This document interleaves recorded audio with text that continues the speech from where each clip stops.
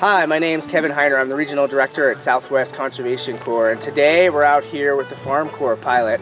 It's the first time we've run this program. It's funded by Great Outdoors Colorado through a grant received through the Colorado Youth Corps Association. Our partner out here is Montezuma School to Farm Project. Uh, the crew is comprised of members ages 14 to 17. They all get paid a stipend and receive an AmeriCorps Education Award for their term of service. Um, they're working on building a shed, painting this Ramada, building some compost bins, putting in some produce washing stations, rehabbing an old irrigation line, and putting in some raised beds. And eventually, this site will be used to help teach core curriculum here at Mesa Elementary School. My name is Danielle Mezzanato and I'm the Cortez Elementary School Gardens Coordinator.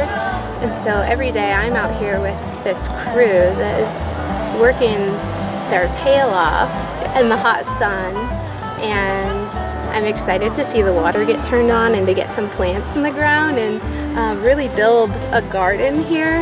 Uh, this space is going to be more than just a school garden. It's going to be a, an environmental learning lab, really valuable to this community and to the school.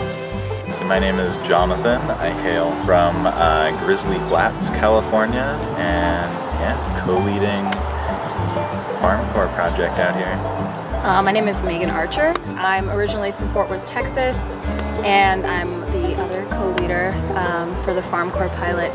Yeah, I think change and growth and uh, both professional and at a more community local level definitely comes from opportunities like this where you can work in a community where you either grew up or you know people are from and you can build something from the ground up with people from that community to make a difference and um, change the future. I think that really is a once in a lifetime thing and especially for youths I think that is really rare to have an opportunity like this at this age and is so beneficial to um, this community but also to just the future in general.